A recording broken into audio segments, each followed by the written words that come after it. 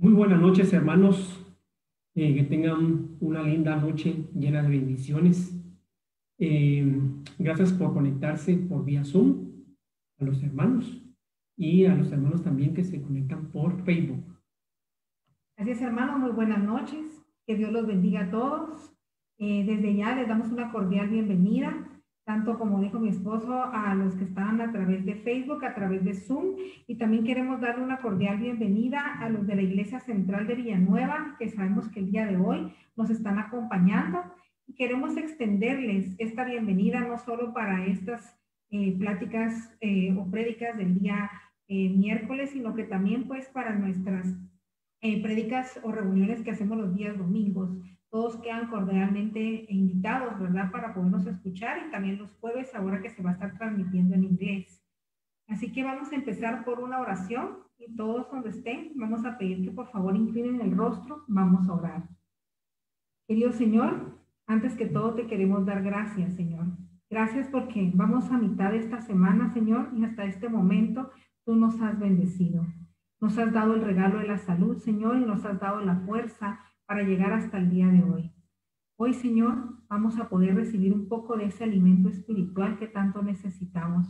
Yo te pido, por favor, Señor, y la de tu Espíritu Santo esté con cada uno de nosotros, Señor, para poder escuchar tu palabra y que quede transmitida en nuestros corazones, en nuestras mentes, en nuestras mentes y que después puedan ser transmitidas a otras personas. Te pido, por favor, Señor, que bendigas al pastor que hoy trae tu palabra, Señor, para que también pues, él pueda ser dirigido por ti. A las personas que aún no se han unido, Señor, te pedimos por favor que puedan unirse pronto para que puedan escuchar tu palabra. Todo esto te lo pedimos en tu nombre, Señor, y en el de tu Hijo Jesús. Que así sea. Amén y amén. Amén. Bueno, hermanos, y vamos a empezar por lo que es eh, nuestra ofrenda musical, ¿verdad? Tenemos lo que es un canto tema y este canto tema se llama Dame un nuevo corazón. Vamos a escucharlo.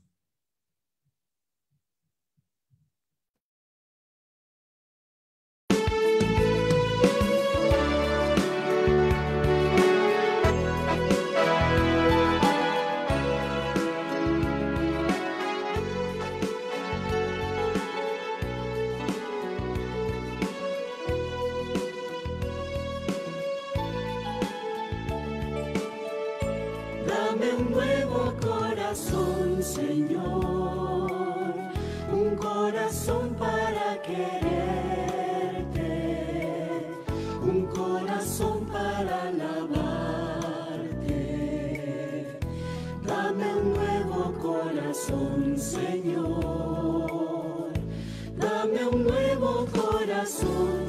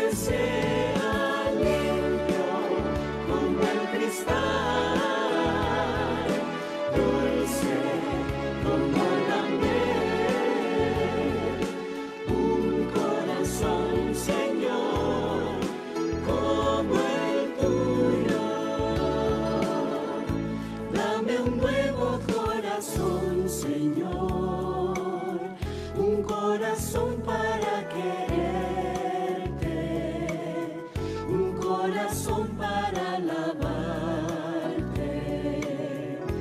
Dame un nuevo corazón, Señor.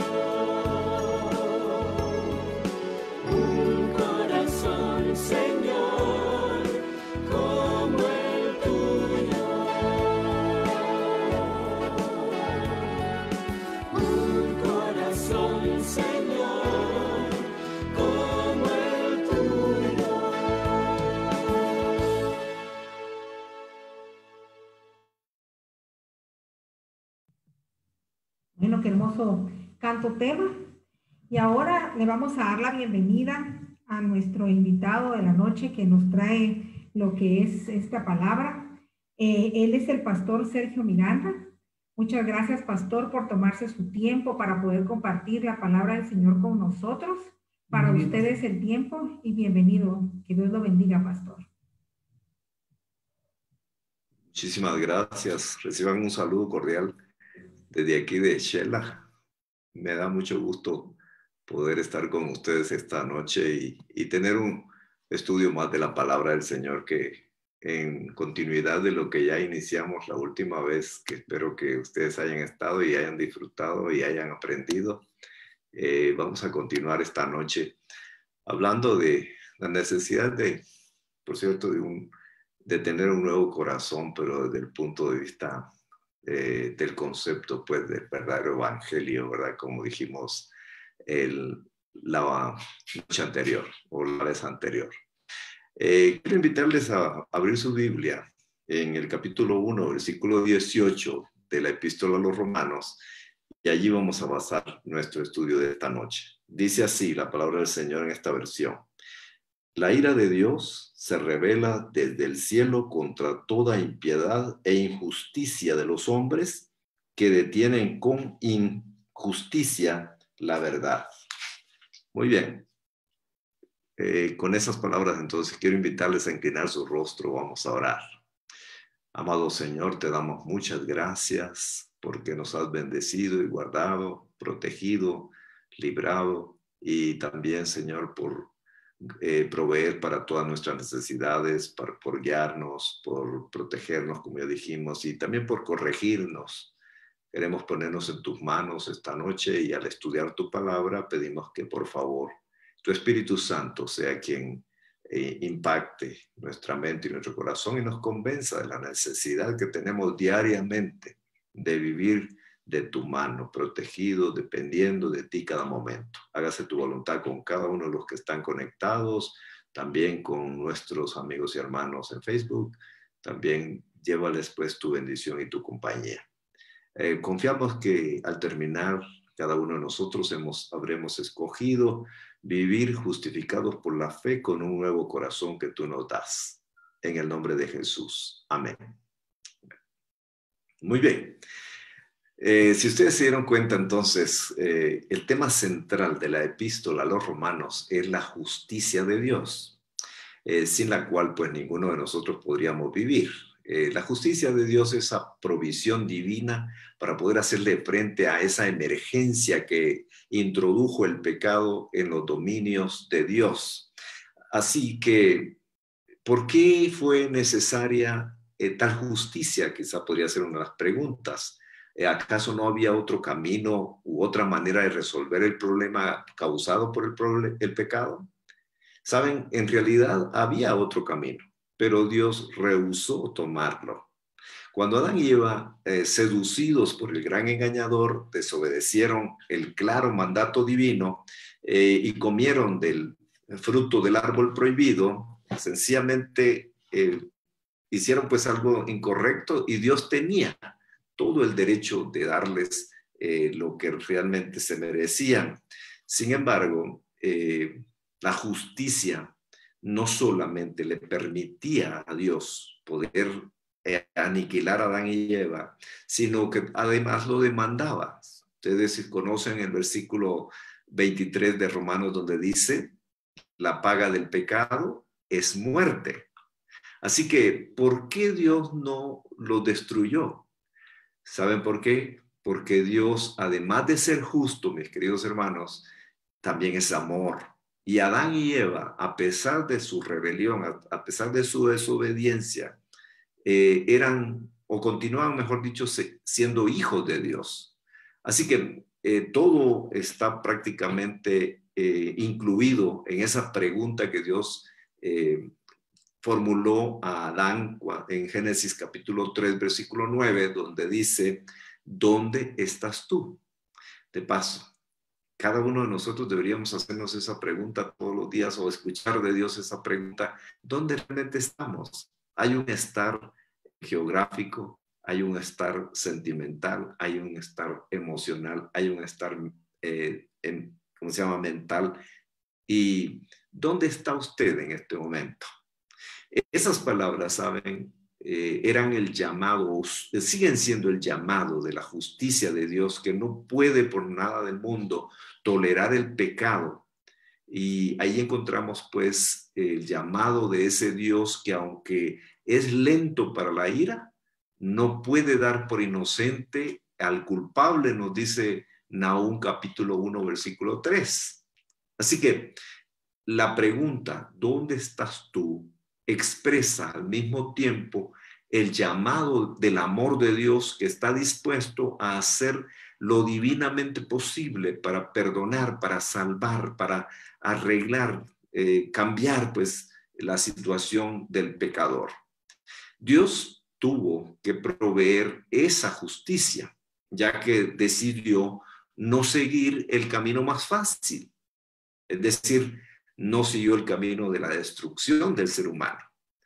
El apóstol eh, Pablo dedica una sección bastante abarcante de, la carta a los romanos, realmente 64 versículos del capítulo 1, versículo 18 hasta el capítulo 3, versículo 20, hay, para explicar por qué fue necesaria la cruz, por qué fue necesario el sacrificio de la cruz. Y en el versículo 18 se plantea el problema del por qué fue necesario. Y dice que hay dos razones eh, que demandaron el sacrificio de la cruz.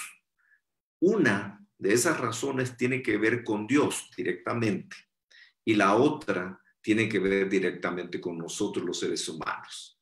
Vean cómo lo expresa el apóstol, porque la ira de Dios se revela desde el cielo contra toda impiedad e injusticia de los hombres que detienen con injusticia la verdad.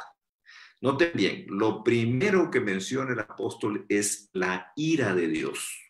Y en segundo lugar, eh, menciona pues el pecado de los seres humanos. En otras palabras, el problema del pecado, mis queridos hermanos, es más complicado de lo que a veces nosotros suponemos o de lo que a veces nosotros entendemos o comprendemos.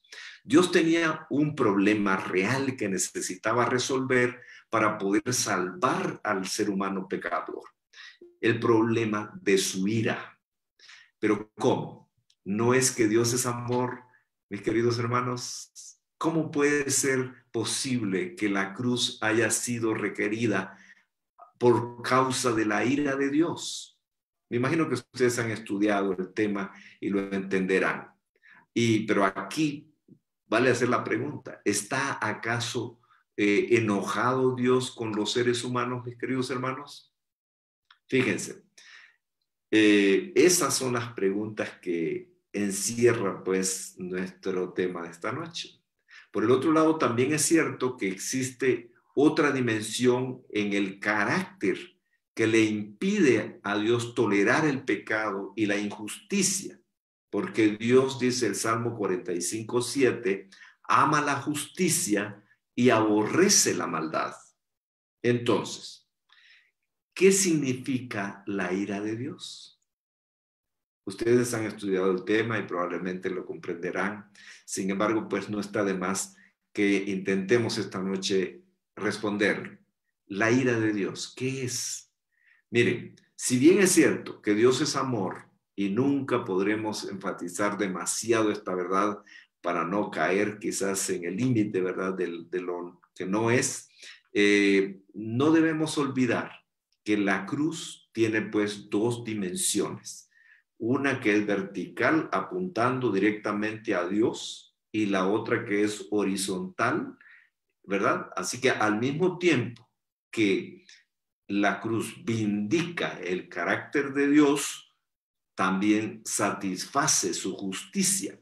Esa es la primera dimensión de la cruz. Repito, vindica el carácter de Dios y satisface las demandas de la justicia de Dios. Y, en otras palabras, cancela la deuda del ser humano. Y aquí quiero detenerme un momentito. Si usted por alguna razón está intentando agregarle algo al, sacrificio de Jesús en la cruz para poder salvarse, cuidado que podría encontrarse perdido. A veces no nos damos cuenta de que la cruz tuvo un propósito mucho mayor, mis queridos hermanos, que salvar a los seres humanos, que perdonar a los seres humanos.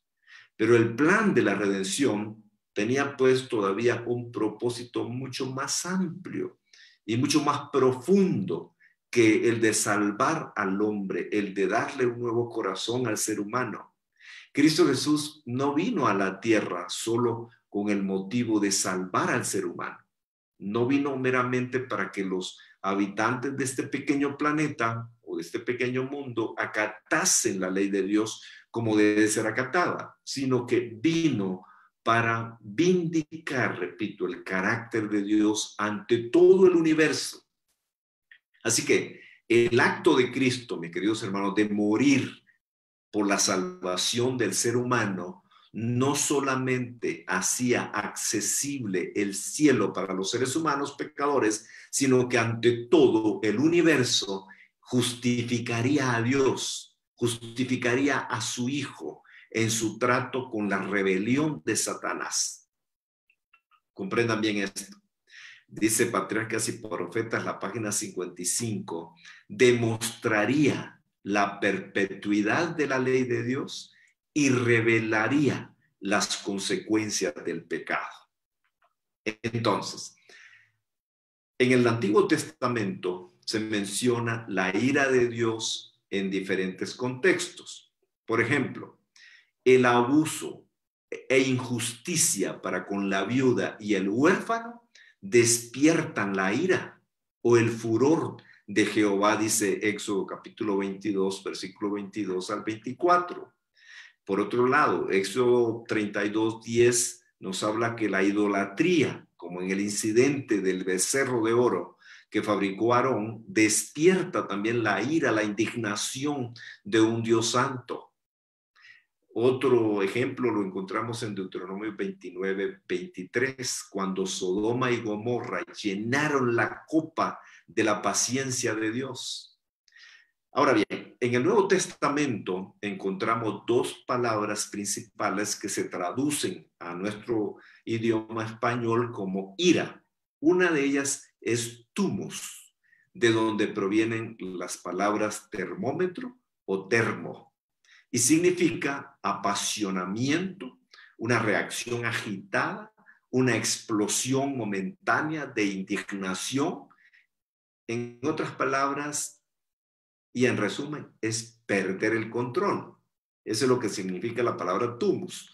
La otra palabra, la que se usa en el texto de Romanos 1.18 que estamos tratando de considerar, es la palabra orge, la cual significa originalmente un impulso natural, una disposición. No se refiere a algo repentino o algo totalmente descontrolado. No, es un impulso natural, una disposición a algo. Eh, el pastor Morris, eh, ustedes han leído probablemente algunos libros de él, decía que los escritores bíblicos usan habitualmente para referirse a la ira divina una palabra que denota no tanto una explosión repentina de carácter o de las pasiones que pronto se apaga, sino más bien una firme y fuerte oposición hacia todo lo que es malo, que surge de la misma naturaleza de Dios. Así que por más que quizás intentáramos explicarlo de otras o de diferentes maneras, eh, realmente comprender la ira de Dios continúa siendo también parte de un misterio, ¿verdad? Sin embargo, el concepto pues, de ira, humanamente hablando, tiene la connotación de enojo, de pasión irracional, de un arrebato, de un descontrol. Pero cuando se refiere a Dios, mis queridos hermanos y hermanas, apunta a una dimensión de su carácter que es tan real como lo es su amor y como lo es su justicia. Dios no se enoja como nosotros, pero reacciona con justicia.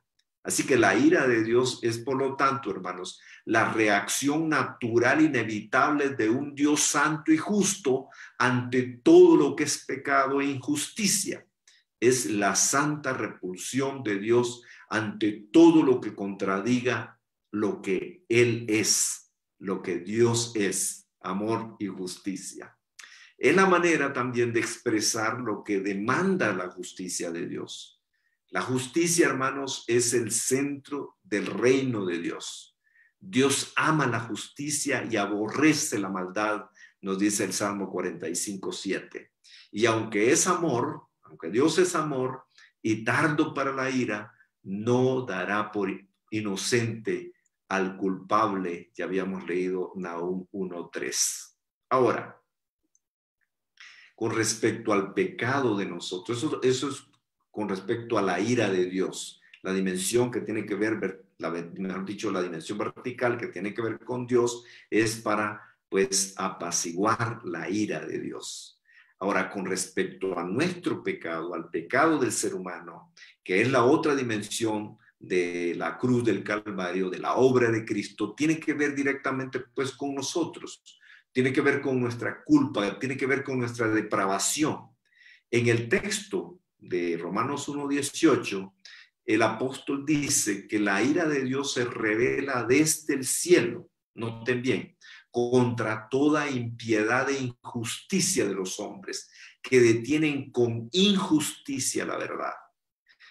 Noten bien, estas dos palabras, impiedad e injusticia, son altamente significativas dentro del concepto bíblico de la salvación, de la redención. Y nos hablan de los efectos del pecado en dos direcciones, otra vez dijimos, vertical y horizontal, impiedad e injusticia. El significado primario de la palabra impiedad, en griego acebeia, o acebe, sí, acebeia se, se pronuncia, o acebeía, podrían decir algunos, eh, tiene que ver con idolatría, tiene que ver con tener dioses ajenos, tiene que ver con negarle a Dios lo que le corresponde. Es un pecado en contra de Dios y por lo tanto es la violación del primer mandamiento que nos dice no tendrás dioses ajenos delante de mí. La segunda palabra que es injusticia, adiquia, un término que en forma general habla de obrar mal, de obrar en forma injusta, eh, de, obrar en forma inmoral, de obrar en, pues, en forma netamente humana y describe el pecado contra el prójimo. Es la violación del segundo gran mandamiento. Recuerdan ustedes, Jesús le dijo al que le preguntó cuál es el mandamiento más grande y Jesús le dijo, amarás a tu Dios con todas las fuerzas, con toda tu mente, bueno, con todo. Y el segundo es semejante, amarás a tu prójimo como a ti mismo. Así que en estas dos palabras que hemos tratado de mencionar, eh, por un lado la impiedad y por el otro lado la injusticia, están encerrados pues los dos mandamientos en los que se resumen todos los mandamientos de la, de la palabra del Señor. Ahora, recuérdense, el pecado ofende a Dios y lastima al prójimo. De manera que la impiedad es la precursora de la inmoralidad. Es una relación desquiciada con Dios, lo que es en última instancia la causa de toda inmoralidad e injusticia entre los seres humanos. Así que después de exponer en forma eh, clara el problema que el pecado introdujo en el universo, eh, con el propósito de aclarar el por qué fue necesaria la cruz, el apóstol va ahora a profundizar un poco en el resto de esta sección, acerca pues de los efectos del pecado, de la total bancarrota moral en la que se encuentra todo ser humano que nace en esta tierra. El apóstol Pablo habla de la depravación y de la culpabilidad del mundo gentil y nos presenta prácticamente un catálogo de pecados y desvíos porque ellos comienza diciendo, dice, habiendo conocido a Dios, por lo menos en la revelación natural, no le glorificaron como a Dios, ni le dieron gracias, sino que se envanecieron en sus razonamientos y su necio corazón fue entenebrecido. Noten bien, cambiaron la gloria del Dios incorruptible en semejanza de imagen de hombre corruptible, de aves, de cuadrúpedos, de reptiles. Aquí está hablando pues de la, eh, eh, del ¿cómo se llama? La corrupción del pecado del ser humano. Dice que se envanecieron en sus razonamientos y en su necio corazón. Ahora, luego de explicar eso, el apóstol pasa a describirnos la situación del mundo judío. El capítulo 2, versículo 1 hasta el capítulo 3, versículo 8, allí nos describe la situación de el pueblo judío, aquellos que eran los dueños de los hitos eh, de bíblicos, aquellos que eran los conocedores de la Biblia, eh, están descritos, o más bien sus actitudes, sus costumbres, sus problemas, están descritos ahí en esos eh, capítulo 2, 1 al capítulo 3, 8. A pesar de ellos tener la palabra de Dios, noten bien, eran, a pesar de tener la Biblia, o mejor dicho, lo que era la palabra de Dios en ese tiempo, el pueblo judío se encontraba igualmente perdido y era también merecedor de la ira de Dios y debíamos ser muy cuidadosos, ¿verdad?, en esta situación. Eh, ellos tenían el nombre de judíos, ellos se apoyaban en la ley de Dios, pero habían caído tan bajo, tan bajo, que aún el nombre de Dios era blasfemado entre los gentiles a causa de vosotros, les dijo el apóstol en el capítulo 2, versículo 24 de Romanos. Y finalmente en el capítulo 3, versículo 9 al 20, el apóstol Pablo plantea la realidad de cómo toda la raza humana está en la misma situación. Dice, ya hemos acusado a judíos y a gentiles que todos están bajo pecado, capítulo 3, versículo 9, porque no hay justo ni aún uno, capítulo 3, versículo 10. Mis queridos hermanos y hermanas, la corrupción que produjo el pecado no solamente es universal, sino es total. El pecado corrompió primariamente la mente del ser humano. De ahí que no hay quien entienda, dice el apóstol.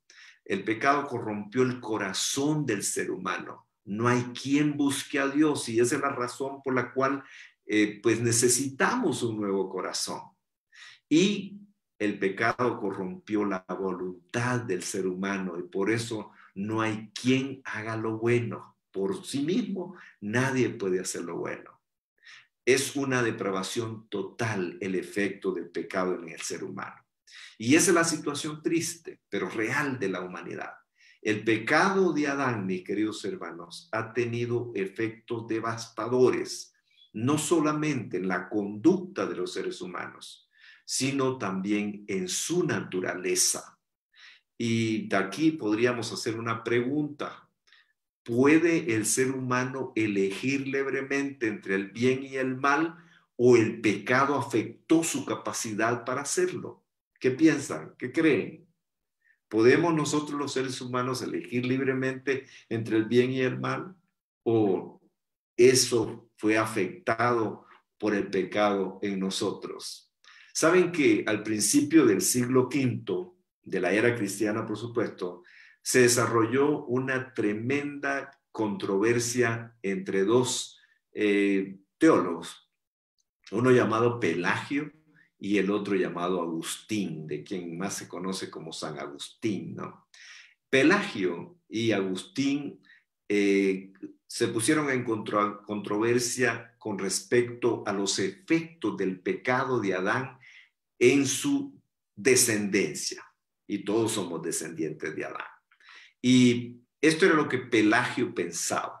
Eh, Pelagio de paso tomó una posición totalmente extrema diciendo que fuera del mal ejemplo, el pecado de Adán no afectó a su descendencia, que el hombre es totalmente libre para decidir entre el bien y el mal.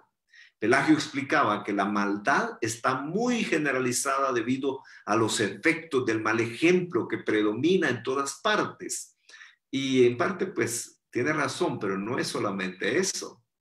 Pelagio sostenía que si se pudiera aislar a una persona y rodearla solamente con el bien, naturalmente decidiría por lo bueno. Y uno de los textos favoritos de Pelagio era eh, San Mateo capítulo 5, versículo 48, donde Dios eh, dice pues o pide al ser humano que sea perfecto. Y si decía Pelagio que si Dios lo pide es porque es posible. Eh, Dios no pediría algo que no sea posible lograr. Pero hay una ilustración que me llama la atención y la cuento cuando llego a esta parte.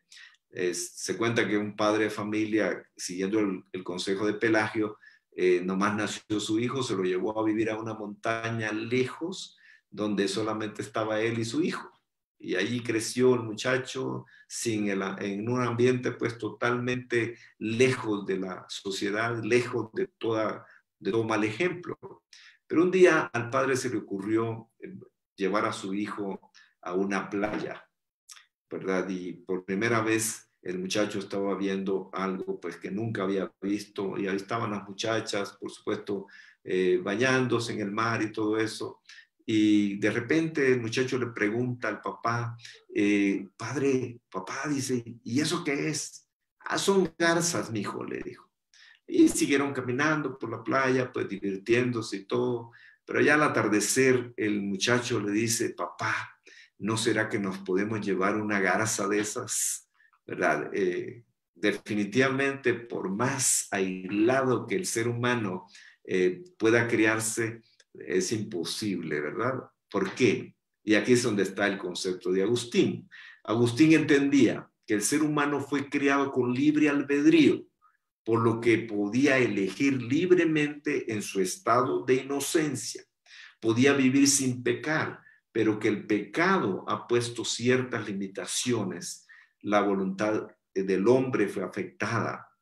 Y argumentaba Agustín que existe en el ser humano una depravación hereditaria que lo incapacita para no pecar. Lo implicaba con una frase eh, que se hizo típica, muy conocida. Eh, en latín, el hombre no posee non pecare, es decir, el hombre no puede no pecar, no puede vivir sin pecar. No es solo el mal ejemplo de los demás que nos afecta, hay algo radicalmente mal en nuestra misma naturaleza.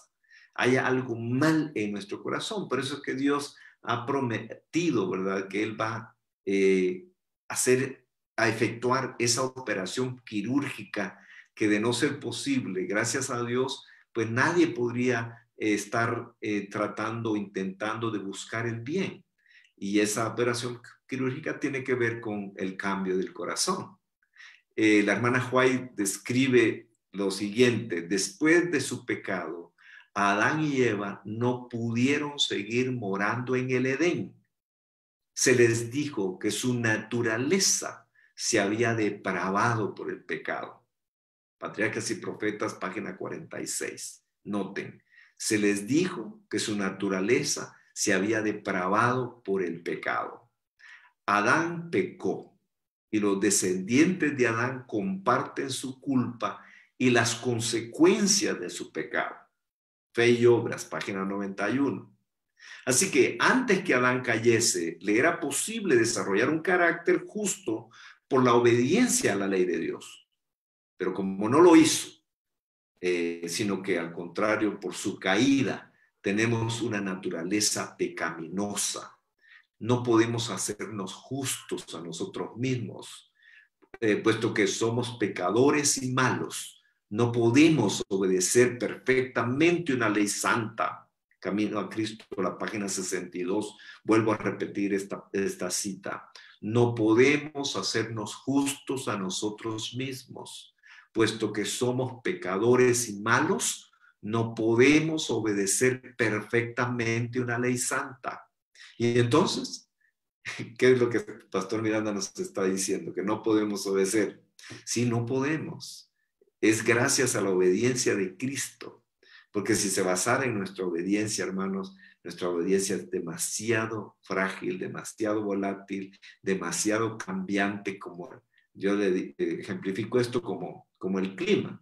Pero nuestra obediencia es como el clima, ¿no? A veces está caliente, a veces está frío, está tibio, bueno, así.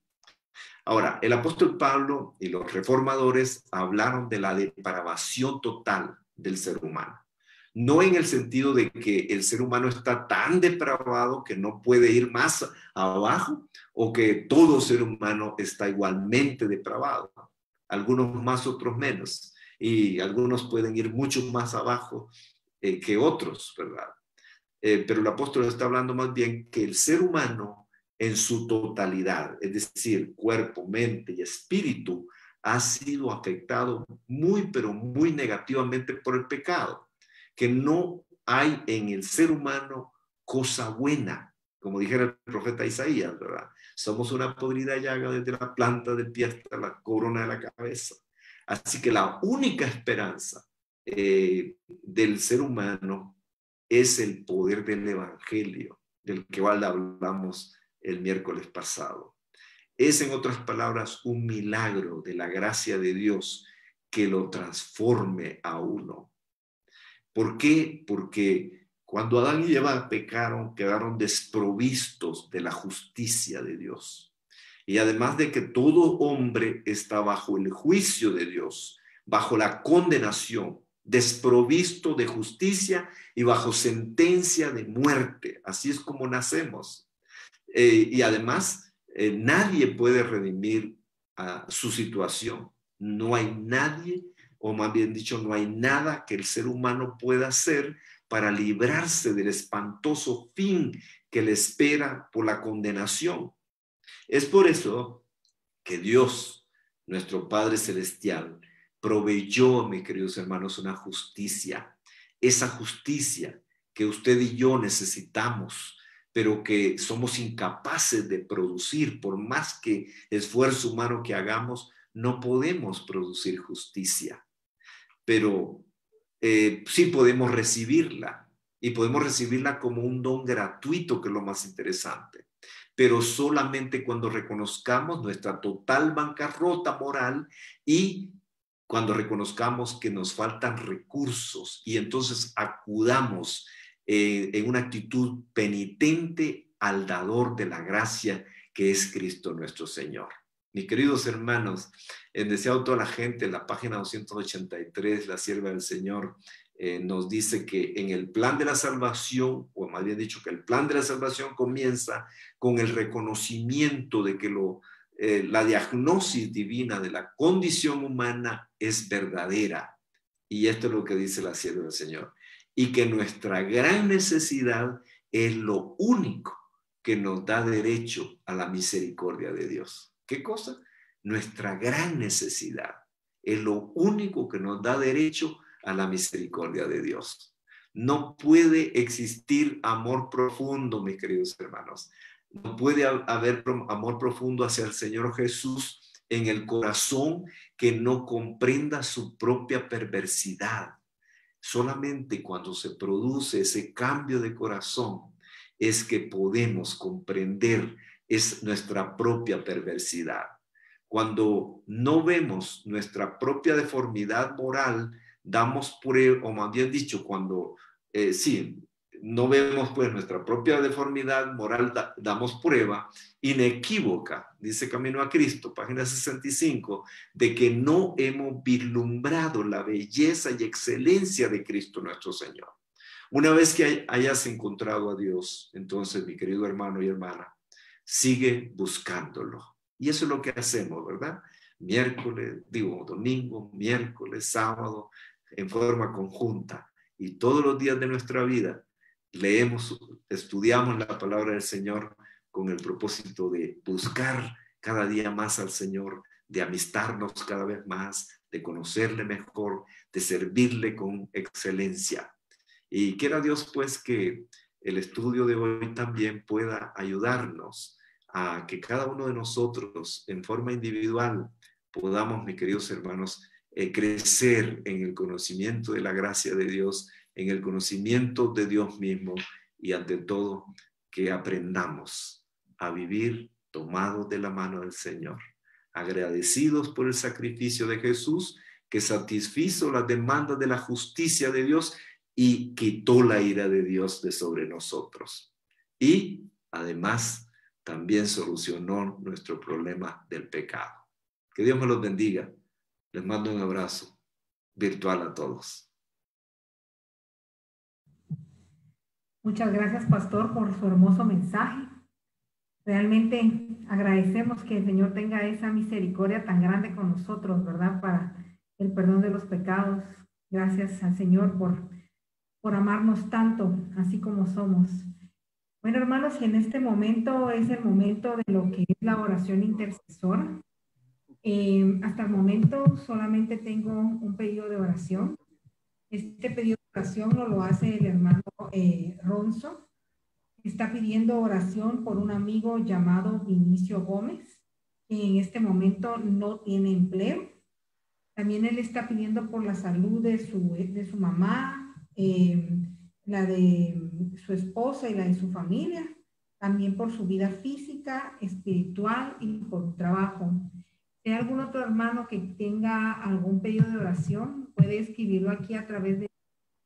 Y nosotros con mucho gusto pues vamos a estar orando.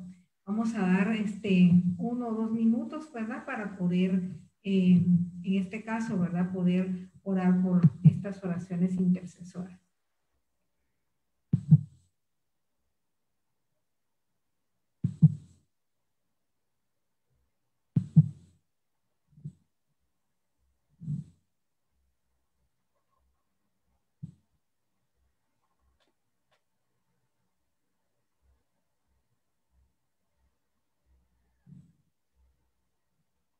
Al parecer hoy no hay más este periodo de oración.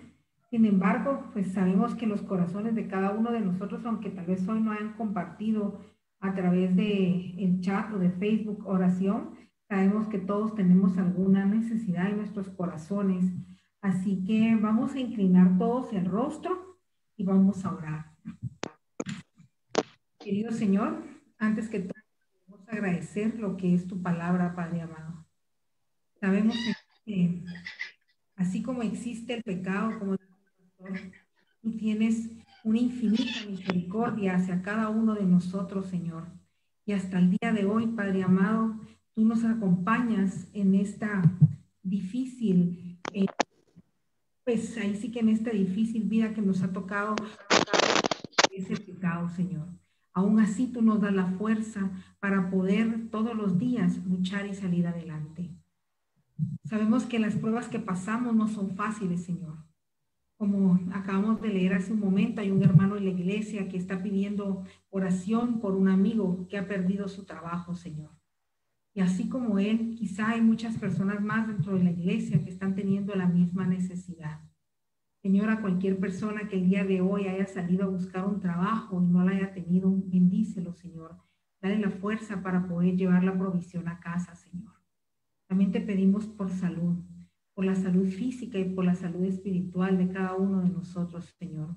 Te pedimos que tanto como pidió el hermano, ¿verdad? Por su familia, también puedas bendecir a cada una de las familias de la Iglesia Dimensión Profética, pero no solo la nuestra, también la de la Iglesia de Villanueva y de cada uno de los hermanos que se unen, inclusive de los invitados que hoy nos están acompañando, Señor.